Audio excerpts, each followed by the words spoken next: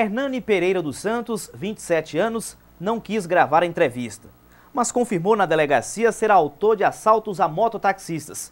Esse condutor foi vítima do suspeito em novembro de 2009. Ou ele me parou aqui na próximo salão da Noivo, pediu para levar ele lá no clube da Copasa. Aí de lá ele mandou seguir mais para frente, quando foi na entrada da marreca, ele viu que eu estava desconfiado já. Já tava, eram as 9 horas da noite. Aí ele mandou encostar ali na, logo na entrada da marreca, aí anunciou o assalto. Mandou tirar a roupa, descer da moto, tudo. Aí roubou tudo. A prisão em flagrante de Hernani aconteceu nas imediações da rodoviária.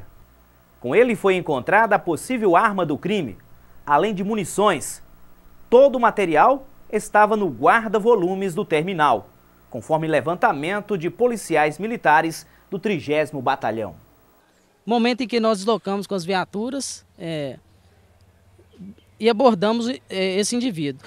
Ao abordar, ao abordá-lo, nós encontramos com, com ele dois cartuchos, calibre 28, é, uma pequena porção, uma, um, um vidro contendo porção, uma porção de pólvora. E ao questionarmos ele sobre a bolsa, sobre, sobre os pertences que, ele, que, se, que encontrava-se com ele, ele nos disse que estava em guarda-volumes na rodoviária. Foi quando deslocamos até a rodoviária juntamente com o autor e ao procedermos à busca em seus pertences, em sua bolsa de viagem, é, nós verificamos que dentro da bolsa encontrava-se uma espingarda, é, calibre 28, é, cano raspado, e, dois, e mais dois cartuchos, um deflagrado e outro intacto.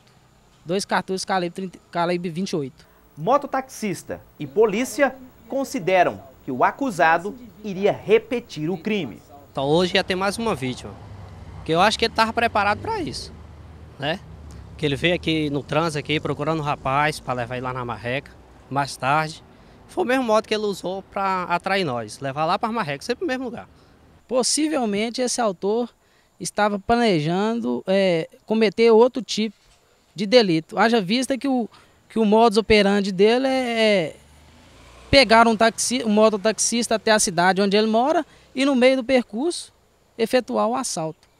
E como ano passado ele, ele nos, nos informou que teria praticado esse, esse fato, e nesse ano ele deu a falta de sorte que, que nós viemos a abordá-lo e prendê-lo.